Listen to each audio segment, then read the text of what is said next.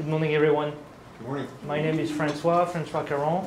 I'm from SolarWinds, obviously, so I'm in product management. I own the product manager team, which uh, takes care of all the network management products. So uh, that's, I don't know if you guys are familiar with the, um, with the portfolio that, uh, that we have. Hopefully in two hours you will. Uh, and um, so that's me in a nutshell. As you cannot tell from my accent, I'm based in Austin, Texas. I'm just originally from, uh, from France, but I moved to the US 12, 13 years ago now. Uh, so I'm, uh, like I said, I'm in Austin, Texas. And, um, and I'm very happy. I heard a lot about this event and about you guys, and uh, I'm very happy to be here. So turn over to Patrick. Thank you. Hi, I'm Patrick Hubbard. I'm also from Austin. Um, I am currently the head geek of SolarWinds, which basically uh, we, uh, some of you guys knew maybe Josh Stephens, and uh, he was originally in that role.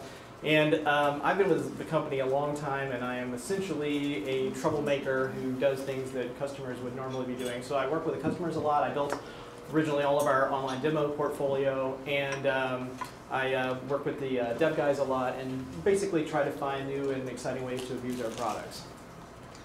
So um, we'll uh, go ahead and get started here. Sure, go ahead. All You right. wanna Do the agenda? Look at the agenda here. This isn't as daunting as it should be, and that is my one and only super exciting transition for you guys who are on the video feed to uh, cause uh, problems with the transcoding.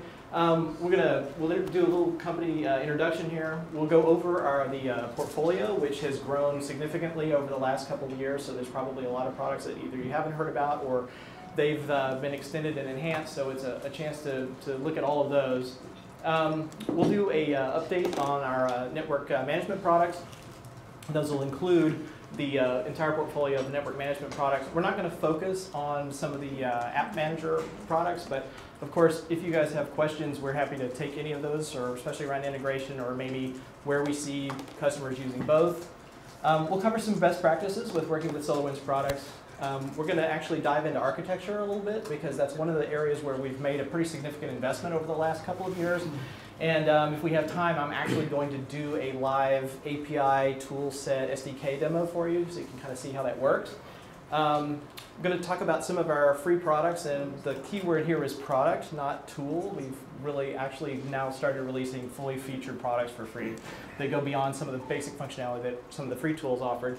And then we have a uh, surprise uh, Geek Fun thing for you guys that we'll, we'll cover at the last bit, and uh, we think that uh, you'll really enjoy that.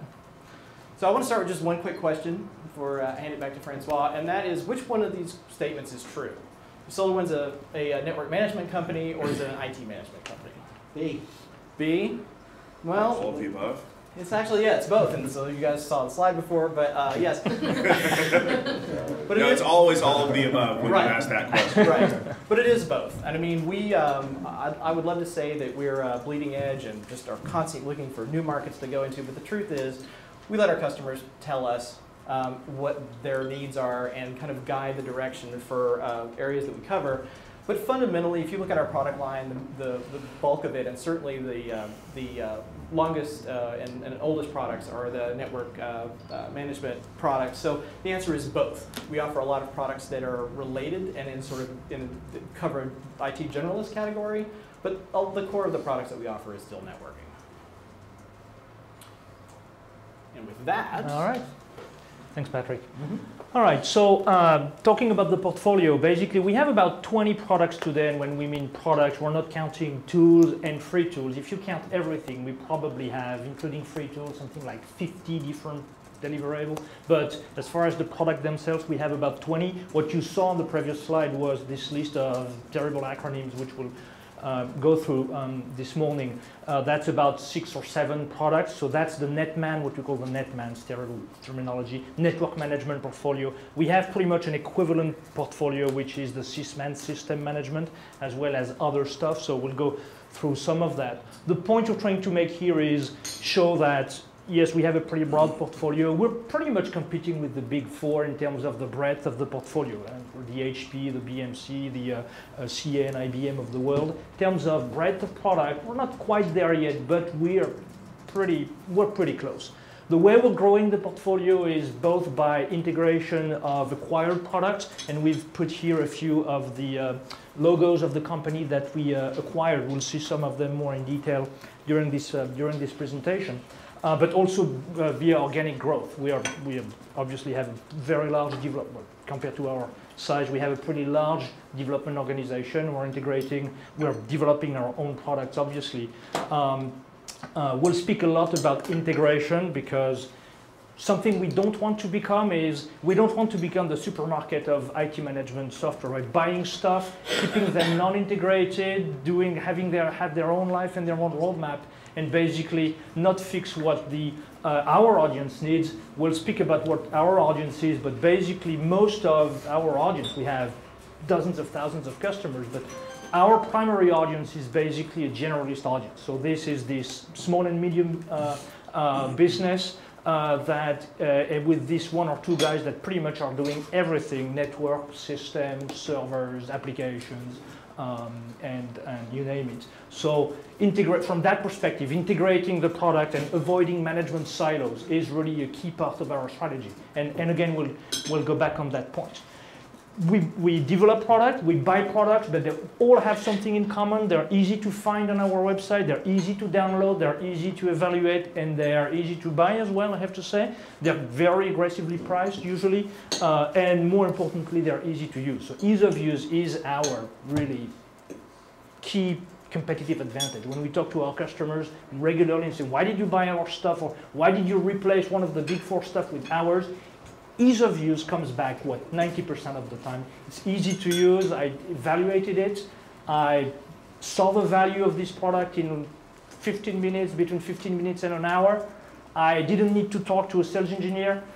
I bought the product. This is, this is what we call the uh, low-touch sales process, and this is possible because the products support that, because they're easy to evaluate and buy. That's a, that's a great point because one of the things that continues to be a part of the way that we sell software is we don't offer professional services. And that means the product has to actually be something that you can download and use. So as we've added some products to our portfolio and done a couple of acquisitions, we've made sure that those products actually also fit that model. Because if you want to provide a broad set of services and it requires a bunch of people on site to do the integration, that is not something that we're going to be able to make uh, an easy eval experience and a purchasing experience yeah. online. We have no training, no professional services. So to try to compare that and contrast that with, we keep talking about the big four. Community training. Yeah, Thwack. yeah, community. We have a very large community. Who, who in this room is uh, aware of what Thwack is? Have you ever looked at Thwack? All right, so that's a very, very active community. We'll say a few words about it, but all right, let's move. So that's a depiction of the uh, non-network. We'll I'll do network after because that's what we're going to focus on. But just to put things in perspective, this is the system, storage, uh, and desktop management portfolio. Uh, so we try to organize them by different colors. The blue stuff is what we have for what basically uh, for the data for managing the data centers, servers and applications. So the flagship product in this area is clearly SAM, um, which stands for Server and Application uh, Monitor. Um, and, and we have others. I won't go into everything um, in the interest of time, but just remember that we cover server applications, storage, and virtualization. Then moving to the desktop part of the portfolio, patch management, um, log and uh, event correlation, as well as remote administration. So this, this, and these are companies that we bought. We, you had the logo on the previous slide specifically for fault incident and problem management, mobile admin, Alert Central, uh, we'll come back on Alert Central. You'll see a demo of uh, Alert Central. Um, that's at the end. That's the piece you'll do. Uh, you'll do at the end. In Web Help Desk, we have a basically trouble ticketing asset management, but mostly trouble ticketing system as part of the again non-network portfolio.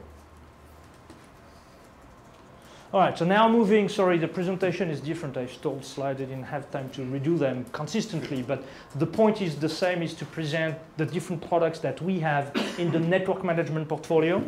So we go a little bit more in detail in terms of how it works because this is today's focus. Let's start from the, from the bottom. Um, SolarWinds come historically from network management, which means that this is the area network management where you will see the most integrated products because pretty much all these products are organically grown from basically our own development, which means, which is the reason why they're actually running on something that we call Orion Core Platform Technology, which is um, basically a common set of services like reporting, like discovery, like um, topology mapping, like alerting. All these different services are provided by this core platform to the product that are running on top of it. The point I'm making is, well, whether you do traffic monitoring or you do performance monitoring or you do VoIP management, at some point you're going to need to generate reports, right? So why would we provide a different reporting system for all of these products? Our users don't want to have to relearn a different reporting system, alerting system, discovery system for every different domain. That's why we've create, we've designed this core platform to provide these common services to all the applications. So you have to relearn as less as possible every time you buy and install a new product. You just relearn, you just learn only what you need to learn, which is specific to this domain. All right, so what are the domains? So the, one of the, in the network management portfolio, NPM is the flagship product. That's historically one of the first products that we had. Uh, it does fault and performance monitoring for network. It covers wireline, it covers wireless. We'll, we'll go through some demos. Obviously, you'll see a lot of demos and illustrations during this, uh, this presentation. So that's what fault and performance monitoring is. Uh, on top of it, because uh, this is a prerequisite to run the NetFlow analyzers. That's, I mean, you guys are familiar with NetFlow. We call it NetFlow because of the popularity of NetFlow, but it actually pretty much covers all flow technology except app flows.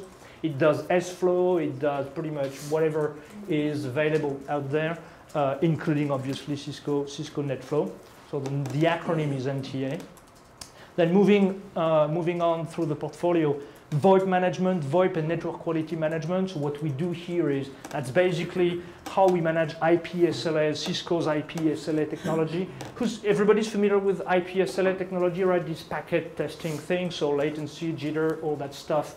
Um, that's, what we, that's what we do here. More recently, we've actually added something that customers wanted us to add for actually a pretty long time. They keep telling us, well, the, the IPSLA stuff is great, but there's one big limitation. It's all artificial traffic. It's all synthetic traffic, right? I won't tell me about my actual calls, how my actual calls are, are doing. So we've added the CDR piece. We're talking to the CCM, the Cisco Call Manager, and we've added the call detail record information into the product. So not only we can give you a view of the quality of the network, VoIP or not VoIP, by the way, whether it's used for VoIP or not, based on the IPSLA technology, but also we have the actual calls, the call detail records. And that's, uh, like, and that's actually a great history lesson. I mean, not that SolarWinds would ever change a product name, but does anyone remember the uh, VoIP Monitor product? Yep and then that became IPSLA manager. Well, because that's basically what you were tracking. right, exactly. And then we just expanded more of the IPSLA operations. Right. Which, which really works well for my customer base because some of them were using the VoIP monitor to say, well, can I just track router stuff with this too? Mm-hmm. So I mean, it, it, it, gives you a better idea of what it's really used for. Yeah, right. Yes. So this is basically the same product. We just realized that that VoIP that VoIP uh, requirement and be able to really actually inter- uh, get more data out of the uh, call data records was something that we kind of lost in the in the adoption of a more broad IPSLA yep. tool. So it's still the core of that, which means that it's it's actually been around for a while, and those uh, those operations and the, the UI is used by a lot of people. Yep. So next one is IPAM. Obviously, IP address management is a key component if you want to manage a to manage a network. We'll see a few a few screens as well about um, IP IP management. So the use case here is pretty simple. Is if you if you're a very small shop, you may be happy with just a spreadsheet, right? You have your spreadsheet with all your subnets and IP addresses and all that. But as soon as you grow a little bit, for example, you try to share this spreadsheet between two different people who are managing both of them, the IP address of your network, right? How do you share this spreadsheet? How do you reliably have one guy making an update and not overwriting the update from, I mean, the second guy? Just a simple use case like this, very rapidly you end up with the fact that spreadsheets are not sufficient and not reliable, and you need something which is as easy to use as a spreadsheet, but a little bit more sophisticated. It can help you delegating privileges and delegating rights. I mean, you handle that part of the network, you handle that part of the network, those subnets, and we don't collide uh, between each other. And there are other great use cases, we'll talk more, but that's what IPAM is. User device tracker, it basically adding the U, it's basically adding the user vision to this. It's the main use case is tracking who are your users, where are they connected in terms of not only wired switches, but as well wireless. We've recently added the fact that we can track user, users through, the through their wireless connections. You can keep the history of where a customer was connected, uh, I mean, every time he, he or he, she changed. Um, so those are the main use cases. Active Directory logon? Active Directory obviously is the way that we, we, we, get, the, we get the user. NCM, Network Configuration Manager, that's the NCCM um, uh, break of the portfolio. That's basically backing up, um, backing up configurations of your routers and switches, um, automating changes. Typical example that everybody gives is where, let's say every 90 days you need to change the enable password on all your 500 routers, right? You're not going to do it manually. So basically NCM is a product that does that for you, connects to the console, logs, logs in the console, does issues the command to basically uh, perform the change and move to the moves to the next one. Um, other features, but that's what really this is about. This one is the last kind of baby of the uh, portfolio, if you will. It's called FSM Firewall uh, uh, Security Manager. It's a typo, by the way. It's a copy paste. That's not Firewall Configuration Management. That's Firewall Security Management. I'm sorry, I thought it was the product name. So Firewall Config Management, but from a security standpoint, right? From a the config from a pure download uh, backup configuration is handled by NCM. But this is some kind of view that as a, an expert system that basically looks at your config and tells you, you know what, you have 200 ACL roles that are completely redundant or actually conflicting with each other, right? Maybe you want to clean up that configuration because it's going to make it much easier to read. And it might make your firewall a little bit, I mean, faster because it has less logic, less rules to actually process. It does security audit, it has a, a, a, a library of 120 checks uh, that are kind of stolen from from DISA STIG for, for the uh, for the federal market, from uh, PCI, from many different standards, and basically gives you recommendation on uh, whether or not a your configs are clean and whether or not they're secure. The most kind of spectacular feature of FSM is the fact that FSM actually understands semantically what the configs are doing. It understands how the traffic is going to go through this firewall just by looking at the configurations and the routing tables. So the product has some kind of a model of the network in, in memory and can say, well, guess what? If you have this firewall connected to this router, connected to this router, and that firewall, right, I can tell you that the change you're about to make in your config right? Because I have the end-to-end visibility. The change you're going to make, you're going to cut the access to this remote site, or you're going to open a security hole. Maybe you don't want to do that. So the point I'm making is it understands the end-to-end traffic across firewalls and router, even before it's actually in production. So the use case is, right, whoever, who has never, I mean, shoot himself in the foot by configuring an ACL, right? And it's the wrong ACL and you just cut your own access or you just cut access to, I mean, from this remote site to the main, uh, to, the, uh, to the main network or that sort of things. Well, basically what this product does is you put the configuration and you ask the product, am I doing something wrong? Am I about to do something wrong? And the product tells you, yes or no, it gives you an opportunity to change that before you go to production. Or how many times do you get a, a ticket with an exception and somebody asks for uh, an exception to a policy, but you have really no way to test it until yeah. you close the ticket and move on, and a day later they're still complaining that they don't have the access. Yeah, exactly. That's exactly the kind of use case we're covering here.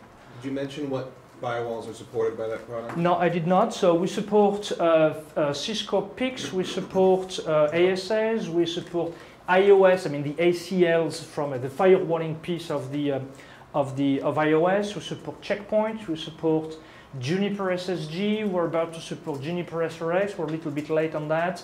And for the future, we have thoughts about. We have no, nothing exposed in the roadmap, but in terms of what we see demand for, we see a lot of demand for Palo Alto.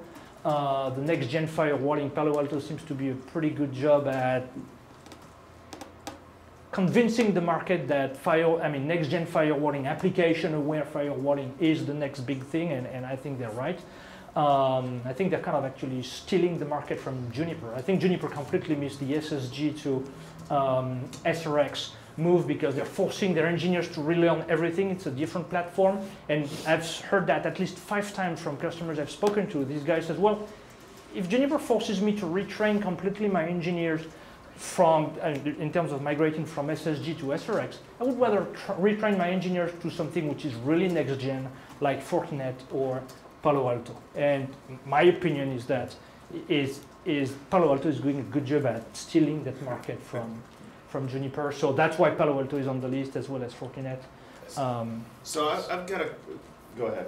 So I was gonna ask, is, as you get into some of the next gen firewalls, you get higher and higher in the OSI model. Right. Is that product gonna support that, That- deeper pack? Because I mean, that, that gets a lot more complex than what you guys have to do. yeah, that's that's exactly what we're working on. Absolutely, Okay. that's exactly the strategy.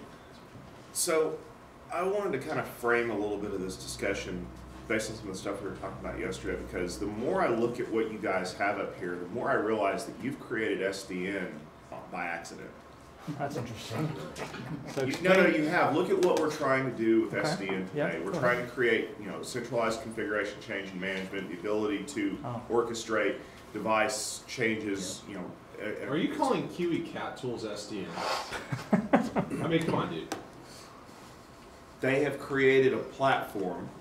I mean, let's face it, you could take all of those things and plug them into a software device, and that's what some people are calling SDN. I I understand that. You, you could also call my crappy sh- shell scripts on GitHub SDN at that point. While the, while the tool's awesome, and I love your, I love that tool. I'm glad you bought it, and I'm glad you integrated it. Well, but, but, Okay, but but we're- isn't Puppet screen scraping at the end of the day unless there's an agent? And Puppet, I mean, some of that stuff's still kind of screen scraping at the end of the day if there's no I, I don't even call Puppet S, uh, SDN. No, no, I'm saying just We, we configuration talked about this at Network Field Day three. We- We brought this up very specifically and said, you guys aren't there yet, but you're colla- collecting a huge amount of data that begins to start looking like the beginnings or the orchestration piece of what could be an SS or mm-hmm. SDN plugin. yeah, that's, But- that's, I And- understand the reasoning. I definitely. There- There's with some that. interesting ties there. Yeah, But I think, and this actually goes back to the discussion that Josh and I were present for at Network Field Day Three. You know, which firewalls do you support? Well, we support the Cisco firewalls. We're going to support the Juniper ones, and then our customers are telling us we're supporting Palo Alto. And I know that you guys are very customer focused. When you want the feedback, because we all, you know, obviously we don't want to support every packet filter on the planet because that would drive the engineers nuts. Because you're not writing to something like an OpenFlow spec or something where I can write one instruction set. You guys basically are creating screen scraping and, and a whole bunch of other stuff to make this all work. But if you could go out and say, listen, we're going to, you know, we're going to get these firewalls, or we're going to be able to configure those devices, you know, it's like when it's like when I go shopping. It's like that's the one thing I never knew I didn't I needed because I never thought I needed it. right. And so when you're like, oh, well, you know, we can do that, we can, you know, jam configuration into a Palo Alto, oh, and a SonicWall, and a WatchGuard, because we can write one script that will do all of them. Yep. That's where the, that's where you guys basically transcend being a collection of tools on a platform and start being a better part of the conversation. Yeah, that, that makes So, sense. so maybe framing the rest of the discussion around how you're going to take that platform forward with what we're already doing in networking, because I think that with what we're trying to do, some of those tools are gonna start falling away as we create scripts and to do that with the SDN APIs that, and OpenFlow that we're getting from the manufacturers today. Makes sense. Well, actually, the API conversation is going to be pretty interesting in terms of driving these products from the outside based on scripts and other products. I think at the end we have a presentation on the on the API. You'll see what the API allows you to control. And again, the API operates at this level. So basically, what that means is the API gives you a way to create, delete, modify the object from these applications in a completely automated way, not through the UI. So that's And I just wanted to get that out there now so that as we move forward to the rest of this discussion, we can kind of see where all Yeah, the we rest can of try. this You can at. definitely try. Okay, Thank makes you, sense. guys. All right. Yeah, I like that. The other question I would have on this uh, firewall security manager, if you if you go and look at the um, the command line of a ASA or something that's been configured with this thing, how does that? I mean, does it really? I I know like sometimes you use the ASDM or something, it really messes up how it's you know how it looks. I mean, it's it's ridiculously large or something. And how how does looking at a configuration that's been generated using this product compare with you know somebody that's done it by com- command line or is you have a comment on that? No, I'm not sure. I, I I understand the question definitely. I'm not sure I have a good. I mean, there's, there's more than one way to, um, to do a lot of things when you have object groups and different things like Right. that. Yeah. There are Can some. you tell this firewall was configured by a script versus a Hmm. human? Right. No, you got, but are you guys, you guys are using the, the Kiwi CatTools back end for this, right? No, No, okay. so- that's completely different. Okay. So does, does it support all, I guess, does it support all the same object groups and stuff like that that you would expect it to with, uh, uh, an ASA or something like that? Yeah. Okay. Absolutely. And it, yeah. and it depends on the type of device.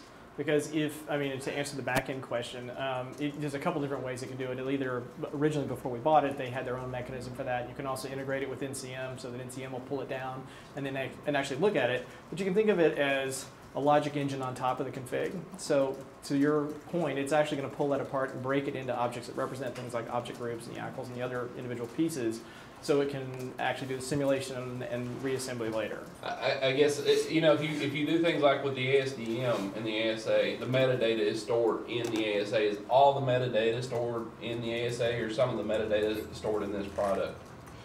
I, I guess, you know, I wanna put a comment on it, but I, I don't like the restrictions that's placed around the comments and the, It doesn't take, it does, you're asking, you're, let me just make sure I'm at, hear your question. Are you saying that we effectively take over the ability to configure that device away from the human so that you lose the metadata that somebody's putting in through the, the uh, command line? So the answer is no. Whatever gets put back in there is still human readable. So the idea is it can reach in, um, work with that data, and then step back out again and leave it independent so that it's no longer, it doesn't become, the, the device doesn't become an agent of, so. of FSM. So yeah, I was asking, you know, two parts of the question, can it do that? And number two, you know, can I use this as a documentation tool for my Yeah. ASA configuration? Yeah, absolutely. So it, you know, it has a little bit more flexibility to store information than the Yeah. ASA itself. It- View it as if you had a security expert next to you and say, right, you don't know what you're doing, let me take control of that config, let me show you that these rules are redundant, and um, let me clean that up so the behavior doesn't change, but you reduce the number of, of rules. And you know what, this, I mean, from a security standpoint, you don't want to do that. Right? You make the changes in the config, you do the testing and the end-to-end testing before you, you put it back on the, uh, in the product. But that's all it does. It's just a super, it's just a human being who happens to be an expert in security. That's what the product does. Typical use case is um, you've got an admin who's been doing uh, kind of general networking. He's managing IP addresses and something else, and the director says, "Hey, we got some issues with the firewall. We think there's a few extra rules in there and some exceptions that may go back a ways. We think there's a few dozen. Can you take a look at it?" He can actually connect to it and come back and say, "Well, we have over 900 exceptions and have no idea when they were placed," and be able to to do it uh, just the analysis, but also reporting on it to then kind of figure out what the uh, the plan of attack is going to be to clean that up because so often the challenge is some exception is critical to some part of the business, but nobody ever bother to create metadata and, and document what that thing did. So can you turn it off? I don't know. It's almost a business engineering, reverse engineering process as much as a technology one. So it makes it easy for that person to then go have those conversations to figure out how to achieve a coherent security policy with that firewall. All right. I already spoke about the integration. The, the only thing I don't know if you guys can read actually, probably not from the back of the room, but the point I'm making here, these two charts are basically um, charts coming from a survey we just uh, did a few uh, few weeks ago.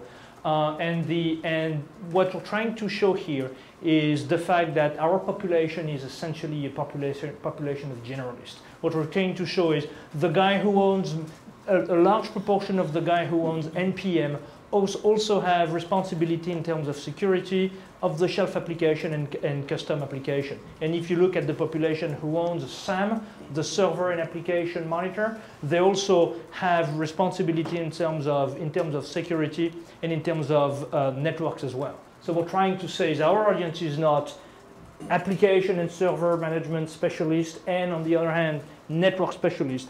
Our audience, I'm talking about SolarWinds, I'm not talking about, I mean, the big four and, and other guys obviously have more an enterprise approach, but our audience is much more um, SMBs and medium-sized companies. Of course, we have a significant number of enterprise because we have a decent number of customers. But our audience is generalist, therefore the integration is something which is really required. All right, so let's take a quick look at, is that working?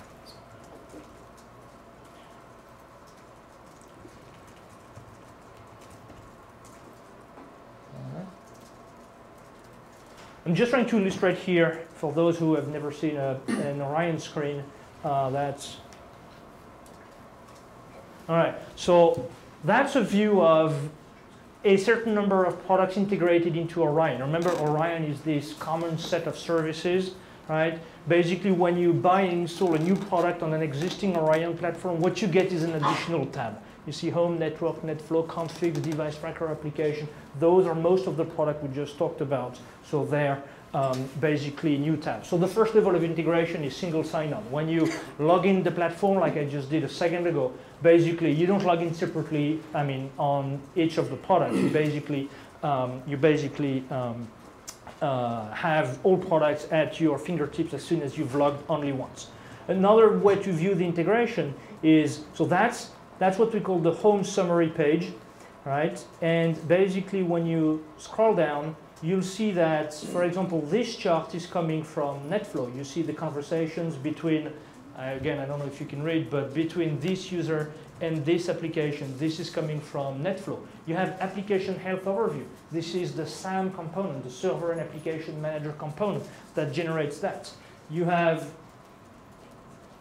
NCM managed devices. So uh, that tells you from a, a, configuration management standpoint what, what, part, what devices are being managed. You have UDT ports in use. How many ports do I have used and, and not used? So the point I'm trying to make here is the single pane of glass integration. We can have on the same screen multiple different resources, right? These rectangles, we call them resources, coming from different products. The objective being to minimize the amount of click back and forth to navigate between products. Left aside, logging in different products. We try to eliminate all that. The objective is the whole thing becomes fuzzy. When you install these products, you actually don't exactly know in what product you are. This page are a mix and match of multiple resources from different products so you don't have to care about, am I, in, am I in UDT, am I in IPAM, am I in, it doesn't matter. You're managing your network and hopefully this page gives you what's necessary to do so, yes. So what about the kind of non-standard networks that are out there, whether it be uh, Open vSwitch on an open source platform, corner case, or maybe a, uh, a, an external network sitting at, at Amazon. Maybe you have part of your workload out there and you're using a security services, a virtual firewall, um, uh, maybe uh, load balancing as a service out there, HA proxy, or, or maybe Amazon's product. Do you have any hooks into CloudWatch or into the exist or agents that you can put up to these external providers to pull that information in this, in this dashboard? No, we don't have those standards, and the reason is mostly because we don't see a large demand for those. However, what we have is, it, I mean, there is always, there are always cases where um, people want to manage these kind of things and, and, and, and import this kind of data. What we have that comes with the product is basically a tool that helps you integrating your own SNMP MIBs. That's mostly from an SNMP perspective. You can import your own MIBs, you can create your own metrics, you can create your own resources and basically reflect this information on the screen, even though it's not part of the out-of-the-box. What about product. platforms that, that export an API is not SNMP? Is there, do you have any uh, examples in the THWACK forms maybe of how to munge that data into your platform? Well, we have for we don't have a toolkit for the for the customer to integrate this kind of API, but we support okay. some of these APIs. We support the UCS Manager API. We support the ESX API. Mm-hmm. Um, what else do we have? Am I missing something? Um, we have WMI, which is not SNMP, mm-hmm. uh, for Windows. So encapsulated all the in the future, maybe. I, we have discussions about that, but it's nothing that's product. Well, I've had a, I've certainly had a lot of discussions with customers about it, and we have customers increasingly are doing more and more virtualization, and they, the the biggest things that we see is that the cloud providers are obviously not doing highly uh, detailed application monitoring, right? Mm-hmm. So that tends to be more. They'll actually go ahead and install some of the more application focused products in their cloud systems and actually watch that because they're actually concerned more about the services that are running or individual processes or maybe they have a custom homegrown piece of software or integration points. Yeah. So the cloud providers can't metric that. So in terms of have we looked at the ability to say, hey, here's a list of the uh, uh, VMs that are spun up, and here's your Elastic provision history over the last, you know, in number of days. That's that would be something that's really cool. Yeah. We just haven't seen a lot of customers who are asking for it, or and it may be that they're just using the consoles that are provided for that high level. You know, how busy are these? How busy are these machines? What's my uh, virtual network look like? The mm-hmm. the traffic or load balancing, the rest of it, and that, that that's enough. but they seem to be more installing products sort of behind that to actually do the typical monitoring they would have done because, and it may just be that they're kind of wholesale pushing chunks of their infrastructure to the cloud, Mhm. and they just like monitoring at the same level of detail they had. Okay. Well, this is a question, so I mean, the, That's a good one. the two questions about API or agents that you're getting to pull into this dashboard. As soon as we see demand, I mean, we're happy to do non-SNMP. We actually have quite a few, but everything is driven by demand. And in the SMBs, we don't see. What is it? What do you see as far as CloudWatch? Is it something you see being largely adopted and Yeah. rapidly adopted? In, you say SMB commercial, I see a lot of people moving their tier one applications, like it's app by app. So Right. SaaS apps that are running externally. Um, and, and whether your app's running internally or externally, there's a need to manage and monitor it, communicate the user base, escalate back to your provider. Um, I see it as an emerging segment, but um, I did a, a, a survey of uh, three out of, so I was up in Seattle, my Seattle office, and, and hold an open house, and three out of five of, the, of my customer segment 250 and below had already moved one tier one application either to Amazon or Azure. Interesting. Right, uh, and so it's, it's so there's that shift. There's obviously you know the file storage shift. Everyone moves their Dropbox, and then Silicon Valley. I mean, we're all stupid here, so you know there's all sorts of crazy Amazon stuff going on here. But this is a little isolated bubble. So how? So let's take the example of Amazon. Are, are they doing a good job at providing basically the applications required to manage the server, not the servers, but mostly the application? What, what what's the quality of the tool they provide? The? CloudWatch API, so they expose API, so you can query them. Although a lot of people are uh, putting up either Zenoss or Nagios, and they're just your point inserting agents in, in the instances that pop up. I mean, application monitor, but uh, you know, I, I, I see more and more people starting to write tools to query uh, to query CloudWatch, and then for OpenStack, Ceilometer just got just got merged in for um, for Grizzly shipping in April. Similar, it's basically a clone of CloudWatch. So it's basically a set of APIs that you know, let's say the new SNMP, you might say um, to query, get information state about not only your instances, but all these infrastructure services that are Right. provided. I mean, load balance is a great example. So I have, you know, I might have an auto scaling group for my server. So I'm trusting my cloud provider to tr- to add more instances behind an elastic load balancer, or HA proxy, or whatever. Well, how do I monitor and make sure that actually happens? And the reality of life is, no one's like all up at Amazon or all up at Rackspace or all in their data center. There's some mix of it. Right. And having one unified view to manage, maintain, and operate that is, I mean, heck, I have. It's valuable, yeah. Yeah, I mean, me myself, my company, we got a bunch of stuff on just really expensive blinking stuff in our data Mhm. centers and our DR site, and then you know, a portion of our quoting application runs on Amazon, another portion that's in, integrated on um, on Salesforce.com, right? Well, it doesn't matter. I don't care if it's at Salesforce, on you know some Heroku backend, or if it's at Amazon, or if it's in our data center. It's broke, it's broke. Right. Well, and it, it's it's interesting to hear you ask that because I'm I've been kind of pushing it for a long time, and you know if if, the, if we don't have a bunch of customers asking for it, then it's automatically you know not going to be the top of the priority. But to, to me, you know, compare it with something like the uh, vSphere APIs, which have been in flux on and off for a long time. me, don't worry. Yeah, the, the but the, the cloud management APIs have been pretty stable and Yeah. they're fairly straightforward to work with. So that seems like that'd be a slam dunk, especially because I mean you just said the word blinking lights, right? If you're if you've been managing that infrastructure in your data center, it is comforting to have it heavily instrumented. And so when you push stuff off to cloud, it it's disconcerting to not be able to see, especially those top level lights like network or ELB use, utilization or some of you know. Yeah. How many times have we seen stuff go down now? Large infrastructures die in the last six months, and For it ends up EBS. Yeah, and it- EBS latency, a great example, something which I believe you can manage your your block service latencies. You can pull that up, right? Some within the storage platform side of this. It's and for me, you know, I want my NOC to be able to see it all. I don't care where it is. Yeah, Right. that makes sense. Um, I'll, yeah. I'll do a quick test. I'll go on Thwack and look for CloudWatch. Here- but here- here's the challenge: is most it's more the development team. So there's, you know, it's a challenge. Most IT IT centric sales organizations and product organizations they go and they talk to their their IT organizations. They report to the CIO, and what's happening is you know like what was the latest well the latest survey that came out of uh, um, what's called Pacific Crest was uh, 41% of CIOs control less than 50% of the budget.